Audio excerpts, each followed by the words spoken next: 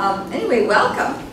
Uh, it's been a long time since we were together, and it's kind of like bookend. So Peter Sussman's previous program, July 20th, uh, 2020, uh, on the third wave of Linden Hills development, that was when we began offering our Zoom programs. So uh, these are our bookends, the start and the end. Um, now, uh, it's we will turn to Peter. I'm very delighted to introduce Peter Sussman, local historian, architect, and active member of Preserve Minneapolis. He has had a significant role in the preservation and interpretation of uh, Minneapolis history, and specifically southwest and the north side of Minneapolis. Some notable projects that he's worked on was the Lake Harriet Bandshell, the memorial of the Bde Maka He has presented many, many programs over the years on local women leaders, organizations, history of neighborhood houses, buildings, their occupants, and businesses. The history of the Lake Harriet Bandshell is an area of specific interest to Peter, as was demonstrated in the Star Tribune article. He is known for thorough research, careful deliberation and interpretation, openness to listen and share with others, and an impressive recall of facts and dates. The fun postcards that many of us have been familiar with, um, we're going to get to learn more about. Remember all the ones with the the pony carts and the ostriches. I think we'll finally get some more in-depth information. Anyway, let's welcome Peter. Thank you.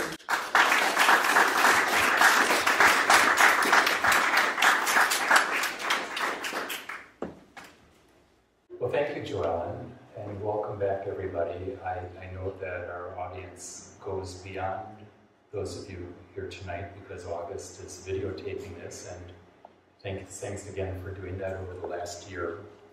Uh, and so we have a much wider audience than uh, those here tonight, although it's, it's great to see you. so I was thinking about how I had been uh, planning this for some time because I've been researching some of these individuals for many years. And I was thinking today about the irony of having a program on concessionaires or a program finally in person when we don't have any refreshments. so I apologize for that, but you can go online. I don't know, I don't know how long it's going to be, but in the near future you'll find it online. You can watch it at home and have some snacks.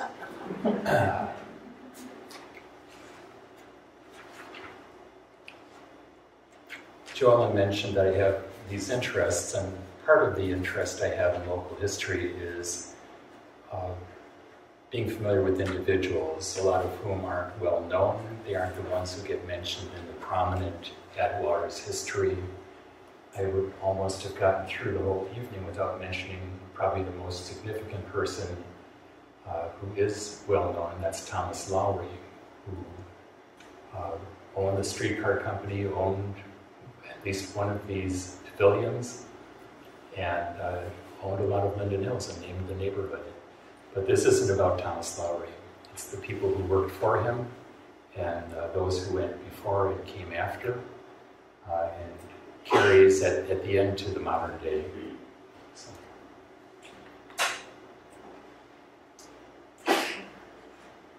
So we recognize uh, the Dakota people uh, which is appropriate in our area because we're so familiar with the history of uh, their presence here. And with the founding of uh, Fort Snelling, there was an Indian agent, Lawrence Taliaferro, who drew this map and has lots of interesting notes there about uh, distance to this, distance to that. But he was very instrumental in uh, helping to set up what he referred to as Eatonville, what we know as Cloudman's Village. Uh, and that's a painting in the lower right corner at Bde Maka Ska. Uh, but I've blown up a little detail of the map because long before there were pavilions and uh, large groups coming to Lake Harriet as visitors, uh, there was a, a mission school uh, that was founded by uh, missionaries, including Stevens and Riggs was there for a while. Pond Brothers came over after a while also, for about five years. And uh, it was there from about uh, 1835 to 1840. So it wasn't as big as it looks on this map. It wasn't the entire west shore of the lake, but I sort of like diagrammatically how it's set up and it suggests what may have been there, including the mission school itself. I'm going to get back to where it probably was. You may have seen the marker down at the foot of the depot, down at uh, the Bandshell area. That's probably not where it was. This map is probably closer. Um, piece written in 1869 from the perspective of the uh, Minneapolitans of the day, uh, celebrating the progress from the, the indigenous people to the, the modern civilization. So the point I wanted to make was that uh, the land transitions from being the Dakota homeland to something that is sold, you can buy it through the government program, up to 160 acres, at a dollar and a quarter or so an acre. And the key thing is it becomes a commodity. And the whole meaning of that land and the ownership changes with this settlement and the community that's built up. We have uh, the, the great good fortune, I recognize several of you who probably along with myself when you wanted to do some research, you'd go to the library and you'd get these cumbersome microfilms and hope that the reader was actually working and that you wouldn't lose your eyesight. And then it's Joelle's fault, I blame her, but I think in 2009 she gave me a link to what the library was then offering through ProQuest, where you could do a word search for a, a name or something significant, and all of a sudden the world opens up. So we have much more access to what has been digitized and is searchable online, uh, and yet not everything, not all sources have been, and sometimes things are a little bit obscure to find. And significantly, for the purposes of this talk in particular, um, what did it take for something to be recorded in a newspaper? Sometimes it was a disaster. Sometimes, you know, it was just odd things where maybe the first of the main concessionaires I'm going to mention, we find out about his at Lake Harriet probably two years after he arrived because the depot burned down and he lost his stock. Well, we know he was there before that, but the Minneapolis Tribune and the other newspapers are not coming along and recording the day-to-day -day activities for the most part. So before we get, this is sort of the prehistory in terms of concessionaires, but I ran across an article I had bookmarked long ago. Um, and this is a group in 1863 coming down to the lake. And the reason that this caught my attention is uh, they're, they're, praising the, uh, the gentleman who keeps the place. All the plans, all the provisions were excellent. Um, the gentleman who keeps the place knows how to please the public, and they go on to say how reasonable this was uh, compared to other resorts. Well, it was really pretty much at the outskirts of uh, where people might be traveling at that point. This is 1863, and at both Lake Helpman and Lake Harriet, there had been people leasing boats, um, sailboats, uh, for years before that, because you've got visitors coming definitely by the early 1850s that are visiting the lakes. Okay. So I mentioned uh, property ownership and what was happening uh, because there were individuals who recognized the potential of this area by the lakes, even though we're as much as five miles from St. Anthony Falls. And one of those was Colonel William S. King. You probably uh, know of the park over where the Rose Garden is, the Lyndale Park, Lyndale Farmstead, where the park board has their operations headquarters. Uh, Lindell Farm is more than 1,400 acres, which is quite a quite a large amount of property, but also it encompassed the entire east side of Lake Calhoun and the east side of Lake Harriet and the north side and much of the west side where this neighborhood is today. And these were some of the farm buildings of uh, the Lyndale Farm.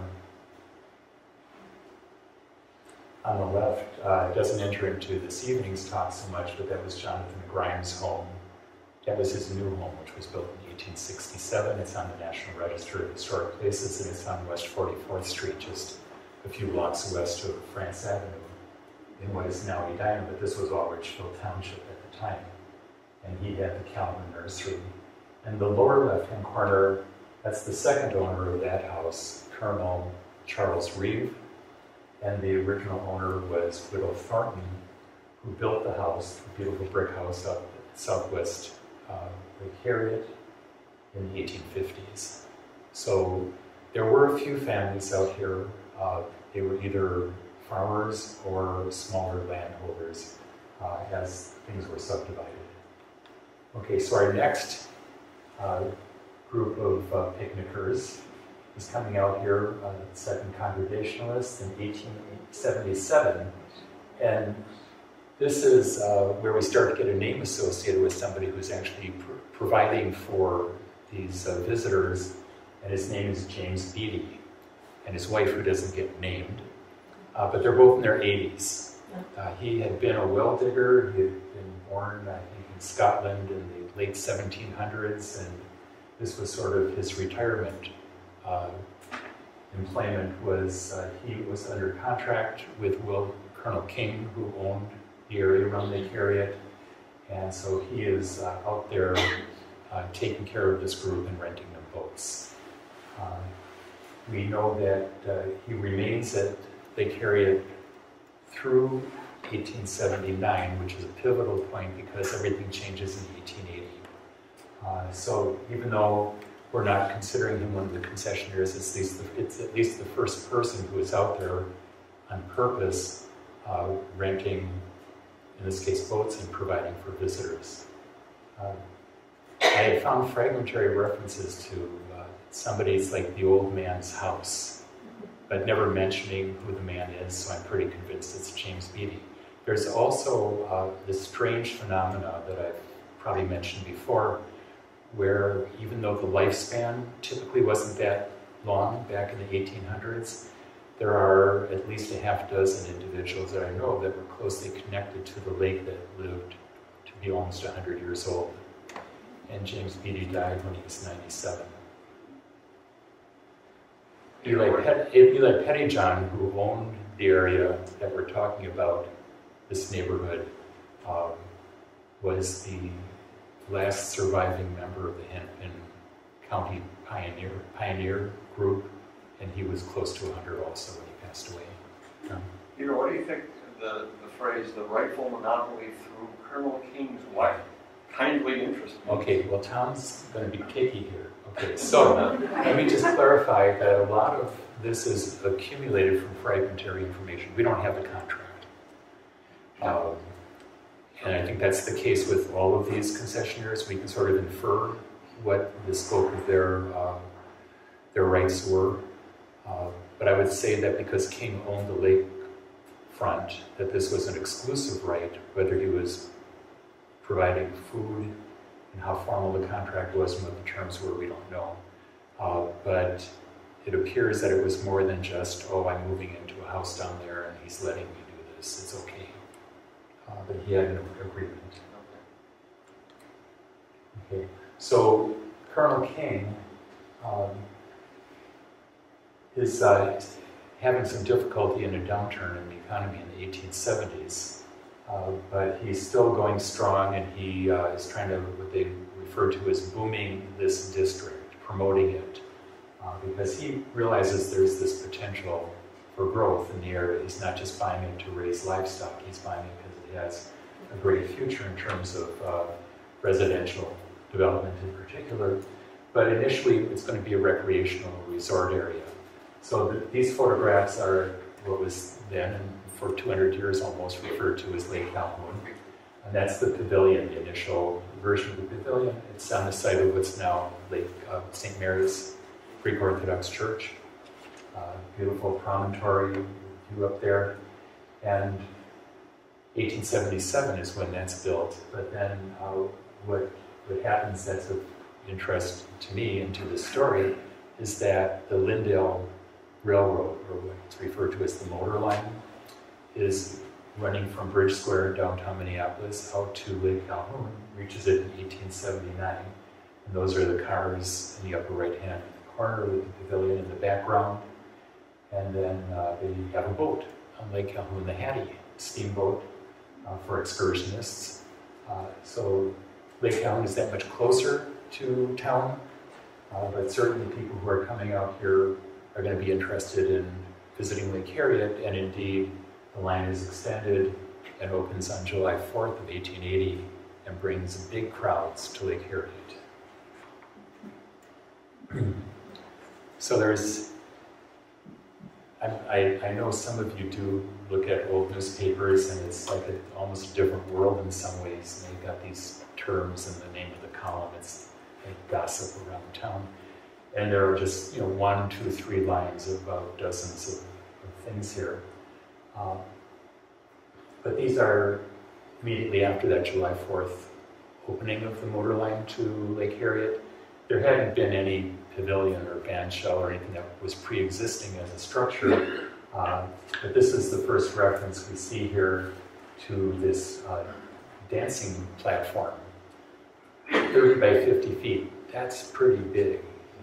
It's probably bigger than this room. Okay, so that you have a pretty good size dance there in that platform.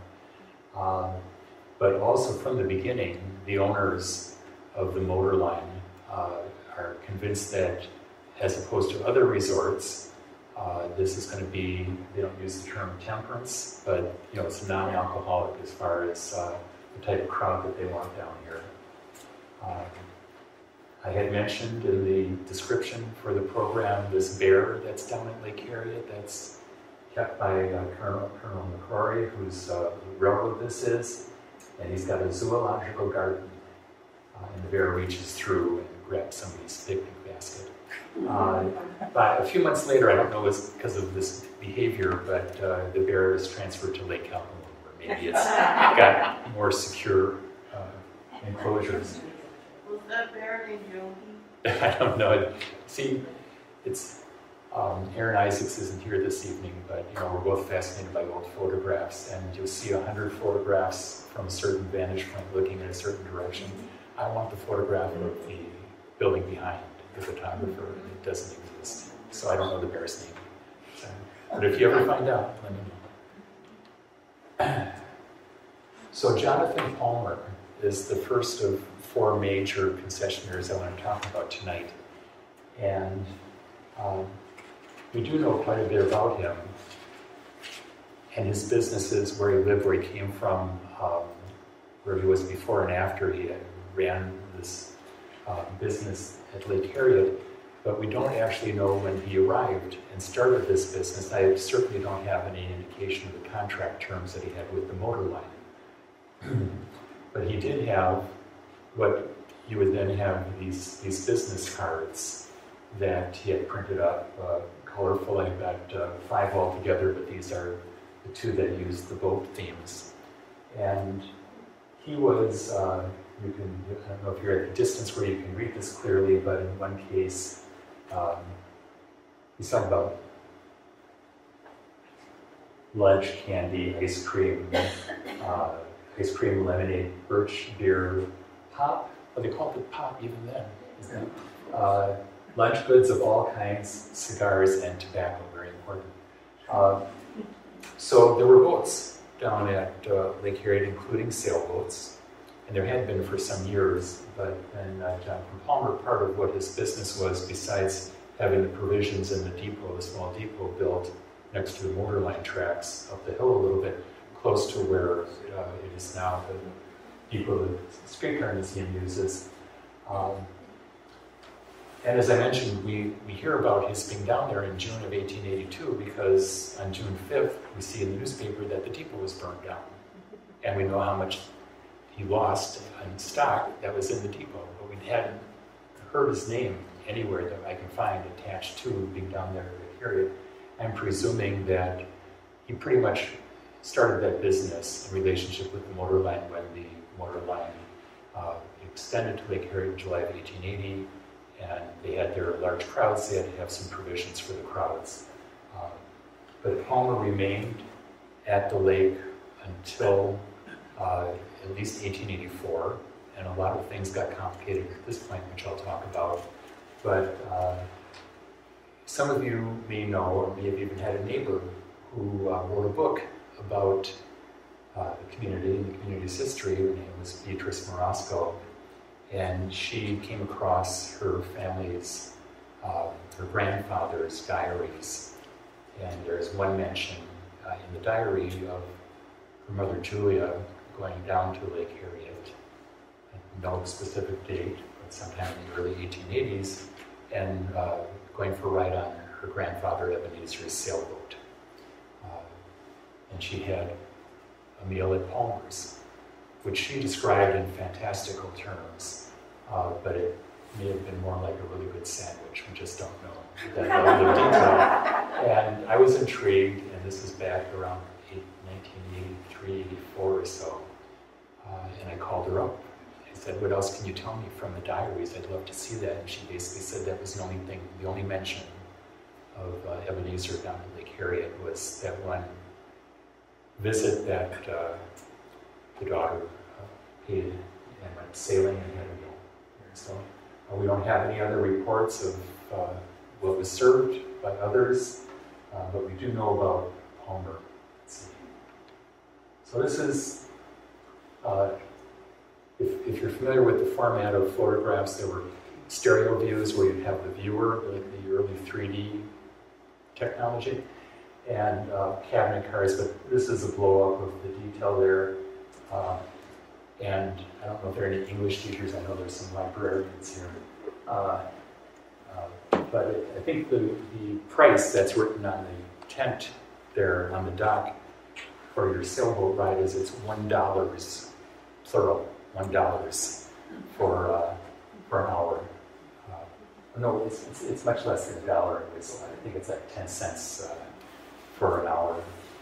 But uh, good, good crowd there, a lot of rowboats, a few sailboats. And based on the address that this photographer Noah was at at the time, this is probably about 1884. That's probably Jonathan Palmer's dock.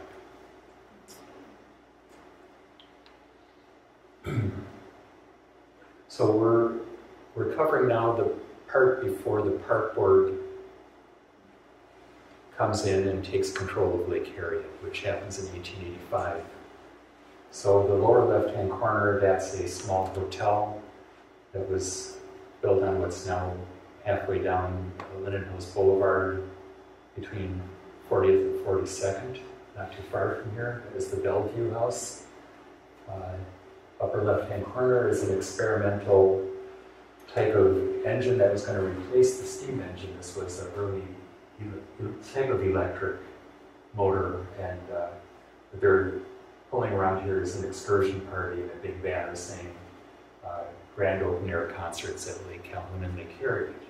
So there were ongoing concerts uh, from the early 1880s on these dance platforms, uh, private parties for the most part. And even though it says concerts, I'm not sure where the concerts were held. But this was the time at which Jonathan Palmer was down there, uh, being the official concessionaire of the motor line. Uh, beautiful little uh, party out here along the shore, about the same time, about 1884, 85. Uh, this is a different photographer, Zinn, Z-I-N-N. Um, but you see that there's no, in this case, at least this part of the lake, there's no uh, boulevard or you know, drive around the entire lake. They're, they're right down to the shore. They have a few little tents along there, and tenting was really big in Lake Harriet for many years. Yeah. Um, the picture of the Bellevue house, would that be the lakeside or the? That's that's the lakeside, and actually, uh, it's a later photograph because the group that's there is the Lurline Club, which took over the Bellevue House in 1894, but the building is 1884 when Louis Menage built it. So I put it in with the earlier group according to its construction date. So it would, it would have likely, the lot would have gone all the way down. Oh yeah, it went to what's now Queen, Yeah.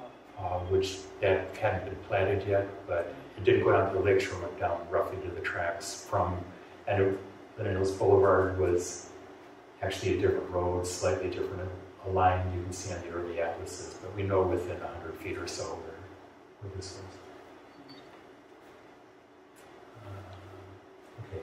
Uh, okay. so I included this slide because Jonathan Palmer runs into some competition and some unfavorable business conditions. Uh, the motor line changes ownership, and the park board acquires the lakeshore in 1885, largely through gifts, uh, including from Colonel William King. And uh, in the meantime, for all this time, Palmer's been running businesses in town, which are generally the type of bakery for the most part, or lunch business. Uh, so this wasn't his year-round business at Lake Harriet or his major business. Um, but he'd been watching these trains go by. After 1880, the motor line extends out to uh, the south shore of Lake Minnetonka, and that becomes the main traffic, the main recreation destination for a lot of people. So he's been watching all these people run, stay on the train and go right past his business at Lake Harriet for years. And so he buys uh, a place on the newly platted Zumbra Heights. This is the upper lake, just north of Lake Zumbra. There's a railroad station nearby.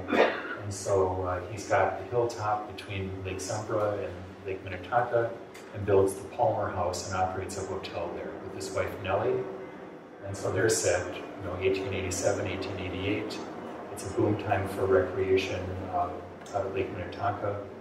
And it becomes one of those prominent places that's mentioned weekly in the, uh, the tourist-related trade magazines and newspapers of the time. Years later, uh, that property is purchased in 1904 by Calvin um, Goodrich, Thomas Lowry's brother-in-law, uh, and has a beautiful home built there. I think Harry Wild Jones is the architect. And uh, it no longer exists, but now there's a very expensive subdivision called Palmer Point, named after Jonathan Palmer. And uh, so it's got that little connection back to uh, Palmer. Palmer was from Ohio. He had several brothers that served in the Union Army. They were in the occupying army down in Alabama in the Civil War. Um, and they liked it so much that a year or two after the war was over, the two of his brothers went down there and settled. So uh, I tell visitors from around the country that if you don't have to live in Minnesota in the winter, if you had any opportunity, you had a place to go south for the winter, Palmer's place was he would run the hotel at Lake Minnetonka in the summer and go down stay with his family in Alabama in the winter, and he was there in 1891 when he passed away. Uh, did a project nearby, and I actually went to the family graveyard, but it's an unmarked grave. It's sort of an interesting end to uh, Jonathan Palmer. Nellie ran the hotel for several years before selling it to uh, Goodrich. Okay, so some of you uh, will recognize this gentleman, H.W.S. Cleveland. He's hired by the newly formed Board of Park Commissioners in 1883, and he comes up with this uh, concept for taking advantage of the main natural features of the area, whether they're the chain of lakes, including Lake Calhoun and Lake Harriet, or the, in particular the River Gorge, which he was just enthralled with and absolutely knew that that River Gorge had to be preserved. So he has the idea, the starting of what becomes the Grand Rounds, boulevards connecting. Uh, the plans went way beyond this. He didn't even include the boulevard along Minnehaha Creek to Minnehaha Falls at this point, or nobody told him about what became Theodore Wirth Park that beautiful area there. They were all pointing him towards what they knew about the falls and the, the lakes and the river. So this is just the, the, um, the germ of an idea, but the boulevard is going to extend completely around Lake Harriet, which it soon did in 1885. The photograph on the left uh, is not a high definition version of this photograph, but if you look towards the center, there's a little white spot there. That's the top of a tent structure. And the park board has created this boulevard, boulevard around the lake. In this case, you'd be standing more or less where the current band shell is, looking out there. along the shoreline, which has been filled in over the years since this photograph was taken in 1887. Uh, and then on the right is a painting of the same scene looking from closer to this tented structure uh, and it's moonlit. So here's a little bit of a close up and then a detail as much as I could pull out of the, uh, with my editing skills. Uh, the, the atmosphere of being under this tented enclosure. And this is uh, Alexis Fournier, who became very well known, young artist. Um, the review is from 1889, but the painting is earlier than that. We don't have a date on the painting. Uh, they're saying that you know the scene will at once be recognized, a very char- charming contrast between the ruddy light through the canvas roof of the pavilion, so they're calling it a pavilion. Uh, on the right, and the cool moonlit sky in Lake Yan. This painting is owned by the Hennepin History Museum, and in the past it's also been displayed at the Minneapolis Institute of Arts. I don't know if it's on display now, but it's absolutely beautiful. Um, so I can't connect this painting and that photograph with who built the structure and the year it was built. There's clearly some food service going on here. Um, was Jonathan Palmer ever involved in this business? And if not, we don't know the name of the person who was. But the motor line um, was very interested in drawing customers down, riders down to the lake, and uh, giving them some opportunities, whether it was boats or, provisions along the way. Okay, first big pavilion. This is uh, an important turning point because in 1888, uh, we have a new owner of the motor line. His name is Thomas Lowry. He has acquired this indebted company, and uh, he decides they're going to build a pavilion to attract people out there. And of course, you need a manager for this huge pavilion. I think it's a 500 seat restaurant and a large auditorium for concerts. Um, there's along the lake facing side of the pavilion were these uh, like bar stools. You could sit along the counter and watch the, the crowd go by along the lake. so A.O. Hoyt becomes the manager, so I'm calling him uh, the concessionaire. He was very much involved in the community for a long time, but he was really only the manager of this pavilion for one year. First came to Lake Harriet in 1881. Soon after the motor line opened up, he was a conductor and operator of the uh, steam engine of the motor line. And he actually was one of the first uh, who went out then to Lake Minnetonka as the line was extended. So there's recollections uh, of his time early on. But then he went to work for this uh, minister who had gone into real estate. His name was Henry Beard. And if you know the Beard's Plaisance, it's uh, that land was donated by Beard uh, at the same time that the lakeshore was donated. So that uh, that special part. So uh, Hoyt was very active in Beard's office, and as part of his compensation, Beard gave him a share of the land out here. So uh, part of the land that Hoyt owned was this land that the pavilion was built on. And so I think that uh, as he was leaving Beard's office, this was an opportunity for him to uh, get connected with Lowry and get connected with the pavilion. So at least for that first year, Hoyt was the manager. Um, by the next year, he's uh, built himself a little fruit stand or a little small business on what's now Queen Avenue, just south of uh, 42nd Street. So he's no longer connected with the uh, pavilion. So sometime between the beginning of the season of 1889 and when the pavilion burns down at the beginning of the season of 1891, two years later, somebody is managing this pavilion.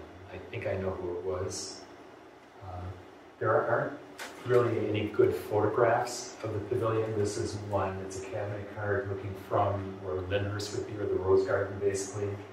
Um, and that lighter shape on the horizon there on the shore, that's the pavilion, the 1888 pavilion across the lake. Peter, can I Yeah. ask you a question about the pavilion? Um, is it, I, I think I was reading something recently, is it open on the left two thirds of it? Yeah, pretty much. The, the concert hall is to, on the right. That's So it was, it was an oddly shaped pavilion because it was following the curve of the lake shore. So it was very long. Um, but at one end, there was an enclosed concert space, and the rest of it was the restaurant. And it, and it was relatively open at the restaurant end of things. And this is the only photograph that I have, and the, the other uh, image is even less descriptive, which is on the left. Uh, so the Twin Cities were, you know, part of the rapidly growing West, and the Harper's Weekly national magazine sent out W. Rogers, one of their artists, and he captured two scenes uh, for their covers. I think it was July and August of uh, 1890. Um, one being the, the um, finely dressed. This looks like some royal procession in London. I'm not sure how realistic this was. Yeah. Oh yeah, and then the rooftop uh, restaurant of the Metropolitan. So Lake Harriet's right up there with uh, you know the finest place that people would well-dressed people would come up to visit, and you described this to a national audience. So I want to mention that uh, I, I mentioned that Hoyt was connected beyond this one year and even beyond uh, his work with Beard. Uh, part of the land that he owned, well, first of all, his second house survives. It's at 4290 Queen Avenue, which is where uh, Linden Hills Boulevard comes in at the top, or by the streetcar bridge. Uh, and it's a bungalow built in 1910. He had an original house that was built in the 1880s, soon after he moved into the area but he maintained ownership of the block just south of the tracks, and uh, it was platted as Quaist's Cressmont. What he was using it for was he was the last person who was uh, renting to summer campers uh, at the lake into the early 1900s uh, before he platted it and sold off the lots. So he, uh, I'll get to the end of his story, but he despite living in the area for decades, he eventually moved up to Los Angeles and lived until 1940. So there's another image of that 1880 pavilion, and uh, they had somebody had done this wood block or whatever etching process they had. So this was an advertisement for uh, that appeared for the Minneapolis Industrial Exposition of 1891, which is actually like in September The pavilion is burned down at the beginning of June. But I, I don't know. They just figured we got we got the uh, illustration. We're just going to keep it in the, the book. And, uh, so even though it says the season of 1891, the concert season hadn't begun by the time the pavilion burned down. Where we know the name of the next concessionaire is because there's a fire, the pavilion burns down, and how much did he lose with the furniture and everything, and his name is H.M. Barnett. So if he already had all of his stock furniture and everything else for the pavilion before the opening of the season in 1891, I think it's very likely that he was the concessionaire the previous season at least. He was remarkably young. Uh, Thomas Lowry hired him uh, to run his pavilion here. I mentioned James Beatty, was about 85 years old back in the late 1870s when he was uh, running the boats for William King. So uh, Harry Barnett, when he starts here at Lake Harriet, is 60 years younger than Beatty. He's like 26 years old. Um, and Lowry was looking for qualified people. He hired uh, a real estate man to uh, promote some of his property, including Lowry Hill.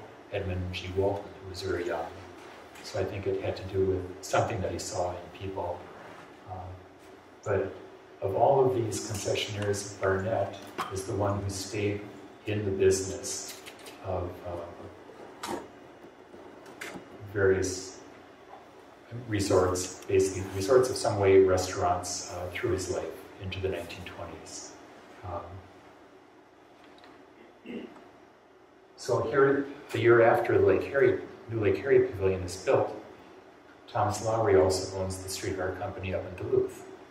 And this is thanks to uh, Aaron Isaacs' book on the street railway system of Duluth. This is a photograph from that book. And there's an incline railroad you've all been to Duluth, you know how there's a very steep hill. Uh, so along with this pavilion back in 1892, there's this incline railway built up the hill. And they have not just little gondolas or small cars. This is like you can fit 100 people. And this is like a moving barn up and down the hillside. And uh, he's already working with uh, H.M. Barnett, so he hires him to be the manager of Duluth, the Duluth Pavilion.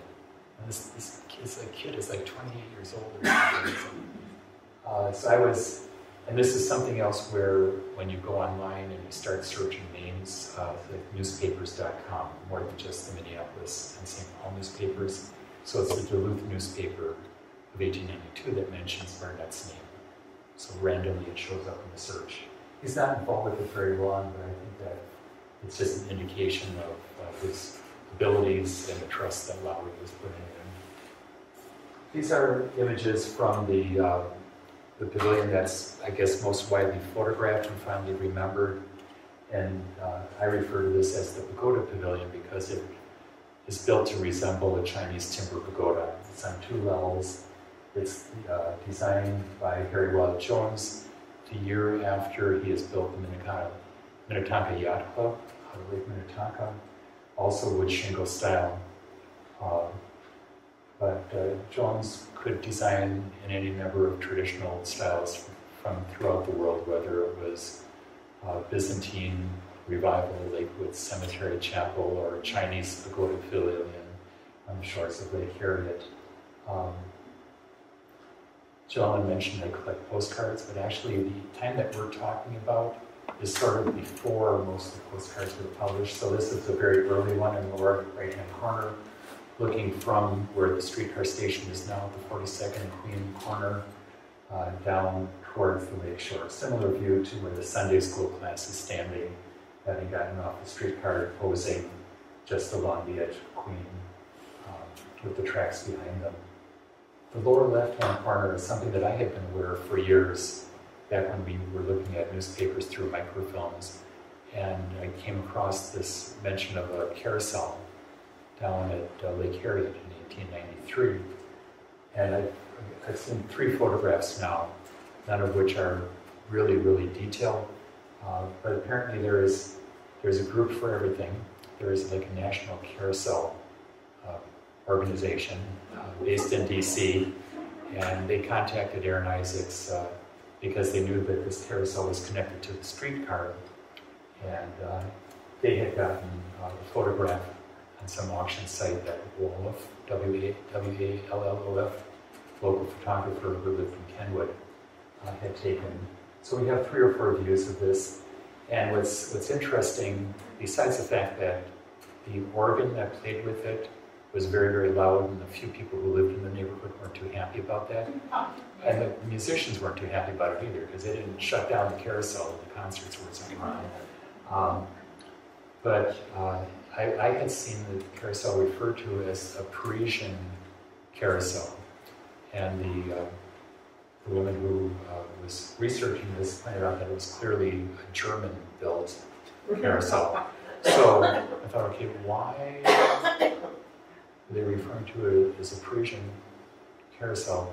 I guess that was just a popular term or concept. But I'm convinced that when you read carousel, it's sort of, you can also take it as sort of like carousal. Yeah. And if you think Parisian carousel, so then they gave it like a, a second name, which is the flying horses.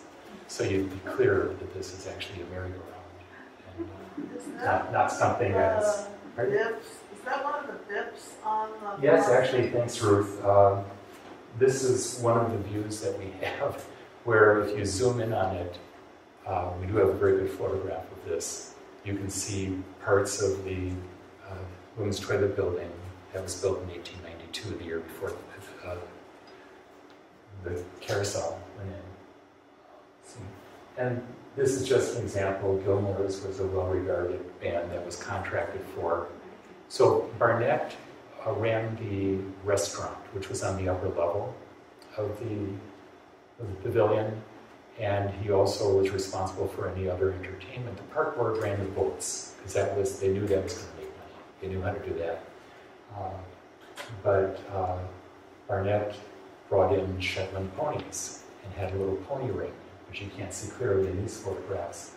Uh, but that's where you have the, the photographs with the kids and the little carts that the little horses are pulling and everything. And uh, Barnett would do things uh, to promote involvement in the community and attracting families. So he was trying to be a good neighbor uh, despite the loud carousel organ.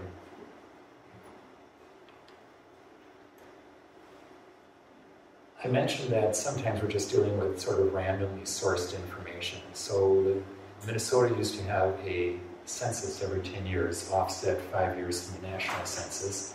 This is a page from the 1895 census. Who's down at Lake Harriet? At the Lake Harriet Pavilion, 25 people live there. Uh, if you look at, I have a map showing some of the outbuildings associated with the pavilion. This is privately owned land between the lake shore and the track, uh, which was Hoyt's property.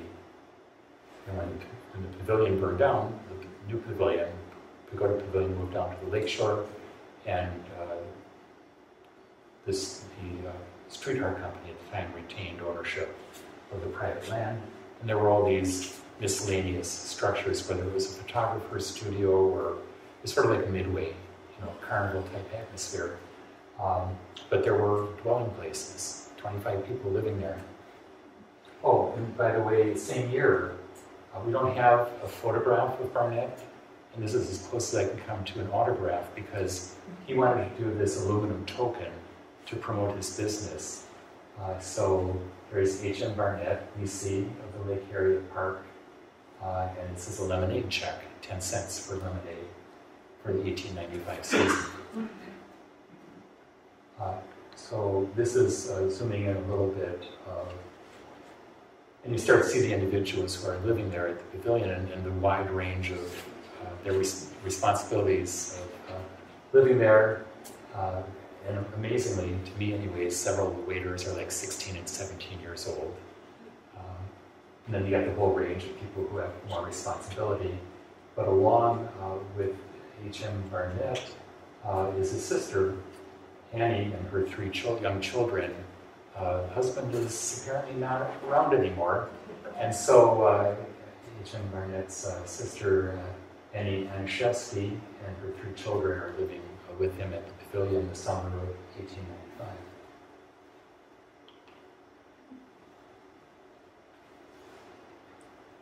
Uh, every once in a while, you run across just a, a great article with information you never expected to find And I think this is representative of that. Um, it's this idea that Barnett is so busy, he's really, he's 31 years old in 1895. Okay? Um, he's so busy that uh, he's running three venues for the streetcar company.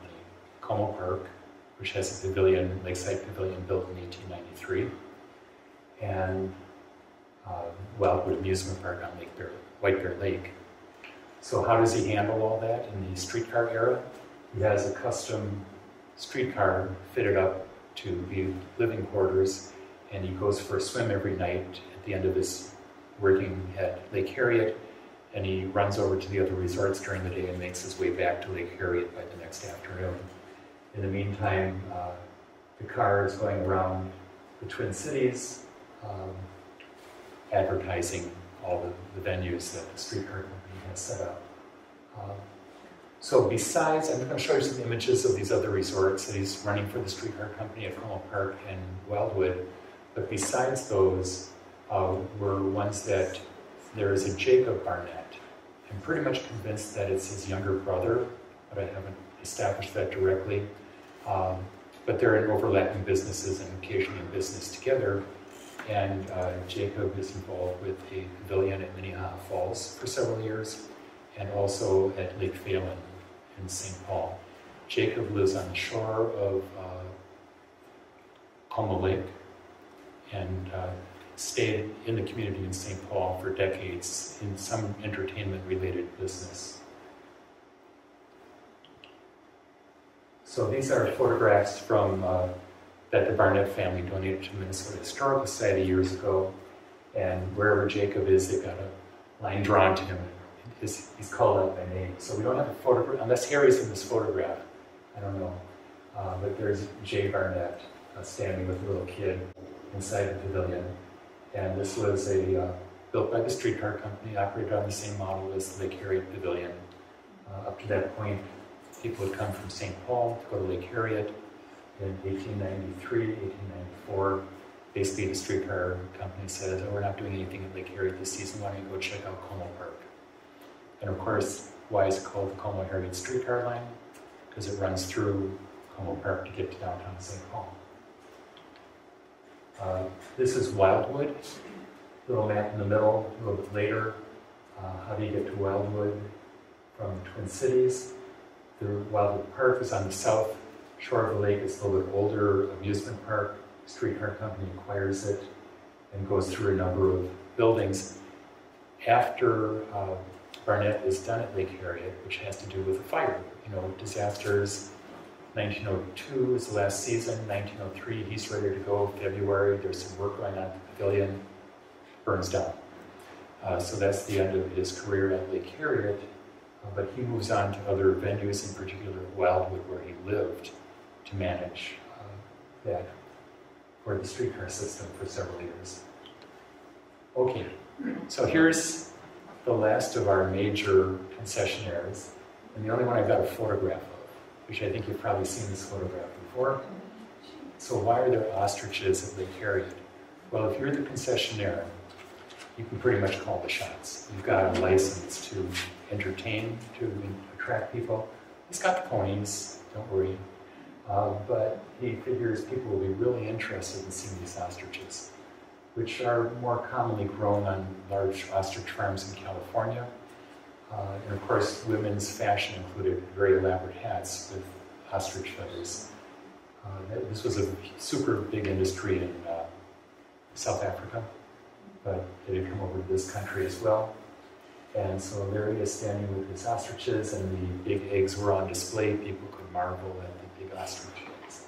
I don't know how many years the ostriches stayed at the area. Um, maybe he gave them to Fish Jones, who ran uh, a zoological uh, curiosity sort of business, first downtown Minneapolis, then moved it out, uh, across from uh, the track down in Minnehaha Falls. But here they are anyways in 1904, 1905, and that's the original bandshell, the bandstand that's up on the roof. Now I know we've got some fans of Harry Wild Jones, the architect, here tonight, and what I've mentioned in articles is he was not infallible. This is a bandshell which is based on a Greek, a Greek temple, which was acoustically terrible. And so the band would get up there and the sound would go everywhere but the audience. It was lovely, and it was moved to the east shore of Lake Harriet up on the parkway at 46th Street or Kings Highway, where it uh, stood until 1914 or so. Uh, but it looked great. Um, so Eshman was another individual who was connected with Linden Hills. He actually had lived in the neighborhood going back to about 1899 and would continue living in the neighborhood until he passed away in the early 1930s. And he had a background in business, this newfangled telephone invention and things, and he got involved with music. He was very interested in, in music, so sort of gravitated towards entertainment.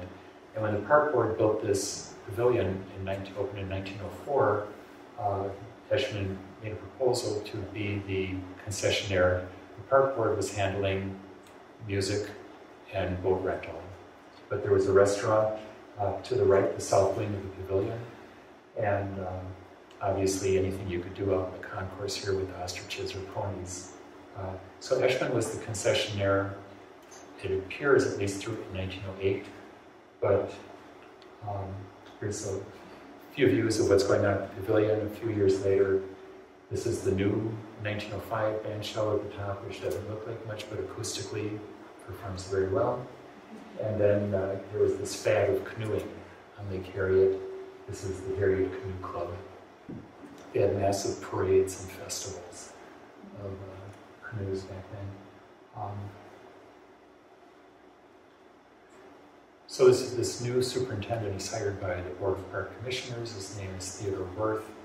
He Comes from Hartford, Connecticut. He really knows everything, and he's very good, uh, from design to, uh, to management.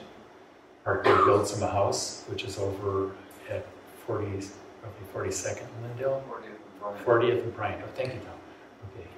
Thank you. Um, and I think there are tours, although maybe not uh, currently, but there have been tours. I think the superintendent is living uh, there again. Um, but that was built as a contract condition for Theodore Wirth to move to Minneapolis and take on this job.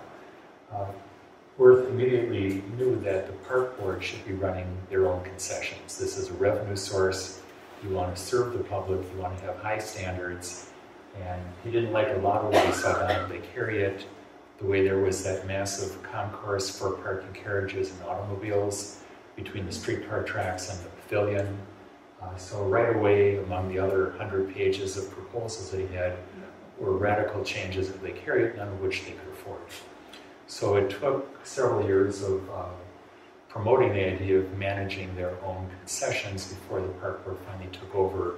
John Eshman was the last private concessionaire, in this case under contract to the park board to run the public uh, pavilion. Uh, before he left, though, he, he uh, applied to the park board to print and distribute this postcard, which I think is one of the loveliest postcards. I mean, I got a lot more than I want to admit in my collection, um, but there are some that stand out. And I think that whoever produced this postcard in multi-view is not unusual of that era about 1905. Um, but this is very beautifully done, and it includes both that common view from the front back in 1904, facing the concourse side, the band up there at the base of the original band shell. There was a swimming area out on the lakeside that didn't last very long because kids are noisy and you got a concert going on, you know, 20 feet away. You got the cafe with beautiful china place settings, um, and then the, uh, the piazza along the outside. So, um, really, I, I, I would love to have visited this building. I don't think that we're going to see something like this again, but uh, I think this, this really captures it. And then, of course, if you go through enough postcards, every once in a while you turn one over and you find out that uh, this postcard on the right, on the lower left, that's the back side of the postcard, and it is sent by John Eshman um, in 1908. So, so some of you have seen this. I, back in 1986, I was Tom and I were on the band shell committee. Uh, Milo was designing the band shell, and um, for the dedication, I put together a little history of the pavilions, including this map, sort of explaining. So how did all these buildings actually fit together? But it's I'm I'm always struck by the fact that there's been this continuity of activity at this one place um, all these years, and so this sort of is the key plant to show how they overlap. Oh, so I got an epilogue because I was thinking, okay, now remember, Theodore Wirth was really devoted to this idea of quality public service um, in so many different ways, developing a park system. And uh, I mean, I love ice cream. I love the park board's ice cream, popcorn. Grew up with it. Right? Some of you did, you know. Um, there was also a, ta- a taffy. Any of you remember that? Yeah, yeah. Yeah, which was um, Barnett's recipe, and he took that recipe and whenever he moved like to other recreational places in Iowa or back to Philadelphia, he had his taffy recipe and, and the popcorn that he developed at Lake Harriet with, with him. Um, but so we're John and I are on this committee. and There's going to be a new band shell finally, and of course there's going to have to be a new refectory building also. you start finding out that the park board is losing money selling popcorn and ice cream at Lake Harriet. How can that be? Well, you know, if, if you're Theodore Wirth in 1910, or the park board, this vibrant, growing, well-managed park system for decades, and you're devoted to that, and you've, you've got this management system, there's a good chance you're going to do it well, and it's going to be a revenue source. By the time you get to the 1980s, the park board has a lot of other priorities. Uh, they're not, so they're, they're, public is expecting food down the lakes and at Pinhot Falls, but I got to um, meet Don Siggelkow when there was a community advisory committee for um, turning the refectory at Lake Harriet over to a private vendor. And I found you know, great online. I realize you can't find everything online that exists, but you got quotes like this. Um, and I can just see Don admitting this to the reporter, and I'm thinking it's going to end up in the newspaper. Um, but, you know, we started outsourcing food concessions in 2001 when I decided we just weren't that good at food service and never would be.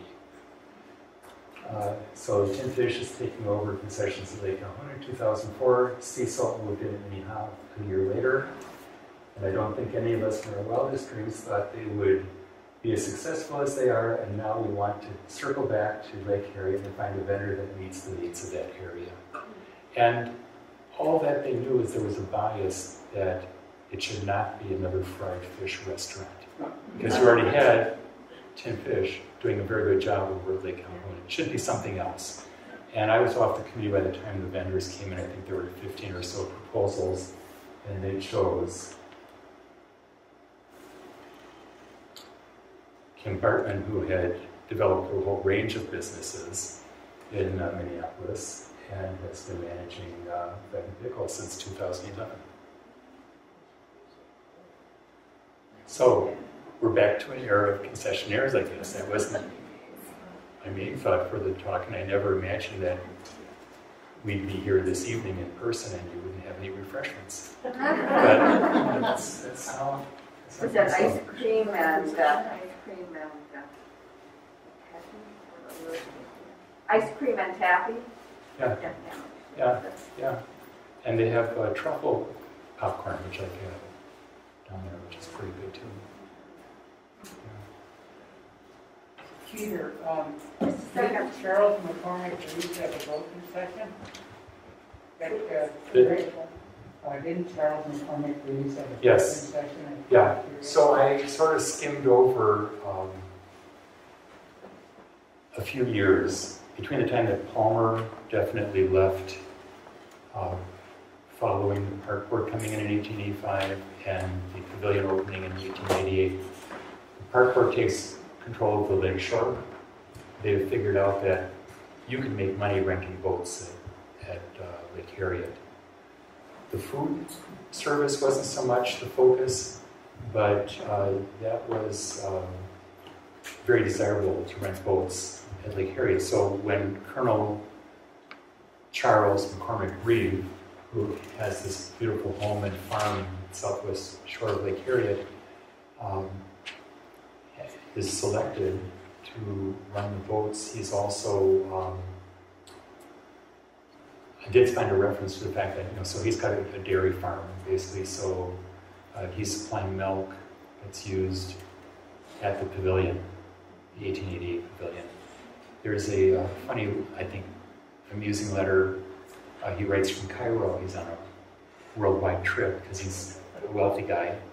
Uh, and he's pleading with the park board. He's like, I forgot to apply by the date you had to continue my contract to rent the boats, but you know, you really need to hire me because I'm the guy who's providing the standard services that the community wants.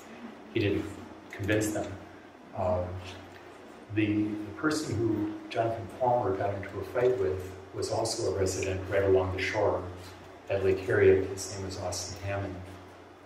And uh, Austin and his wife Jessie had bought lakeshore lots from Henry Beard in those early years where actually if you bought the lakeshore lot, you owned down to the lakeshore and the rights to that lakeshore because there was no public, there was a sort of a public drive. You could around part of the lake, a little carriage drive, but the ownership went to the lake shore, what they call riparian rights.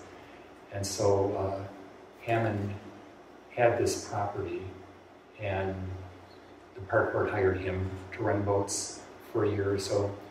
And you got Palmer and Hammond suing each other in court and fighting over who had the rights to put a dock in and rent boats. And I think uh, Palmer just threw up his hands and said, I got other things to do. Uh, so those are the other names, Hammond. Um, and I, I don't know if there was anybody else besides Reeve. But I was focused more on people who were running like the major operation, whether, especially once it was a pavilion, or in the case of Palmer, where the the ownership and the, the people who were motivated to attract riders, you know, down to big crowds down to Lake Harriet were working under contract. So I'm, I'm calling them concessionaires. Uh, they're, I think Reeve at one time was also saying, if you give me back my contract, I'm going to build a building that's going to be used to sell refreshments, and you're really going to, you know, appreciate it. Um, but even somebody who's wealthy has to follow the rules sometimes. Any other questions? I see an arm back there. Peter, the, uh, yeah, wait,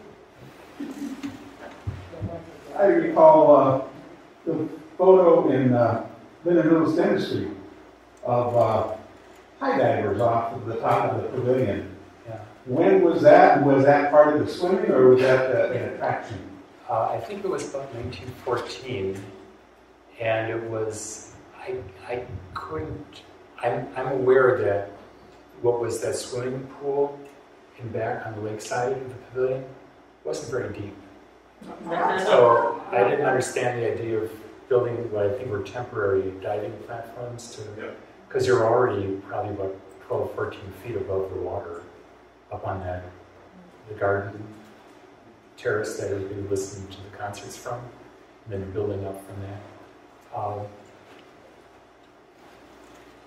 you can approach the history of the lake and the entertainment and the pavilions in particular from a number of di- different directions. This is sort of a different approach, but usually people think of it in terms of what was the entertainment in terms of music and who was offering that, what was the quality, frequency, cost, was it free, did you have to pay?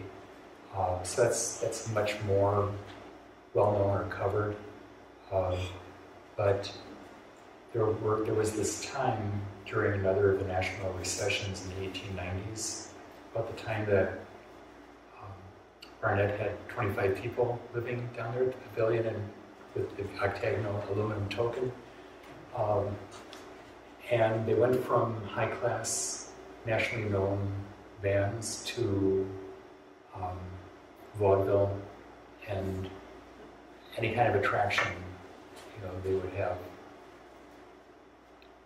just spectacles, basically, curiosities, not exactly like the freak show at the Midway, but um, any, anything went, and that's when it became very controversial because the park board um, didn't really want that going on. Um, but they didn't, it was a private pavilion and they didn't have full control over it. So there's, there's a wide range of accessory activities, including in 1898, I think, during the Spanish-American War, they were recreating naval battles and they would publish noise notices to the residents of the neighborhood saying, tomorrow night at 8 o'clock, there's going to be this massive bombardment. And, you know, tie up your horse. Uh, so uh, it was it was sort of an amusement park in a lot of ways over a period of time, and there was tension between the neighborhood and the operators of the entertainment at the lake on and off. That's why it took until 1904 before the neighborhood finally agreed to do something that looked a lot more civilized, publicly owned and managed uh, pavilion, beautiful classical design pavilion, not the honky tonk. Clara out all the, yeah. Other questions? Um, have you been following, um, the development of, uh, the new pavilion over by The one that replaced the one that, replacing the one that burned down? Yeah, I ended up on um, several of the park board's email lists, so I get all sorts of updates, including the project-specific one that you're mentioning. And having served on um, the committee that was working with the commemoration of the Dakota at Bde Maka Ska, um, I was, I was familiar with the Dakota representatives who are interested in expanding upon that recognition around the lake. So it's sort of like a following on on something I was involved with for years, but I saw two schemes that were considered initially, both of which looked attractive to me. And I'm not sure where they're going to get the money to build those or what the status is, but I think that the board, after some hesitation, did agree to go ahead with one of them. Um, I don't know what the status is as far as is specific construction schedule. I I'm pretty sure that it was aspirational as far as assuming that they'd get enough money to build it. Uh, that, there was, I'm not going to go back to the image, but uh, there was a private boat club on that site in 1900 called the Lurline Club. What was there up to 1900 um, from the late 1870s? Um, and I, I was hoping that they would at least acknowledge that, if not in the name of the pavilion, at least in some kind of display, because that is a tangible part of the history of that site, going back, uh, back years. Peter, is there any documentation between um, the uh, Theodore Wirth and the Lowry family, either Thomas Lowry or Goodrich Lowry, in terms of these kinds of um, of deals or these kinds of um, arrangements that they had off the lakes? Well, there's quite a, I mean, the, the expert is the other David Smith. Not our David Smith isn't an expert, but the, the, the author of the uh, park history and the blog dealing with all things park related.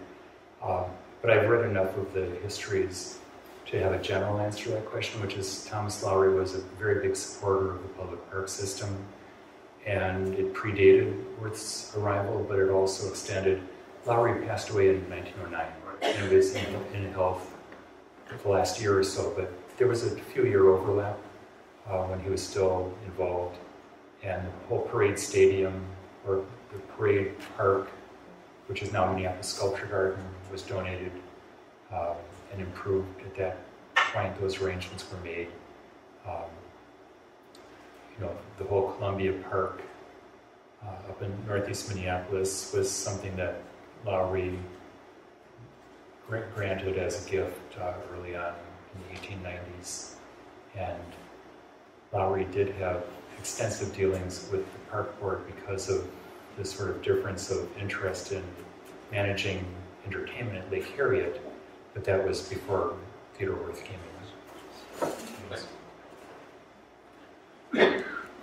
Any other questions? No, perhaps we'll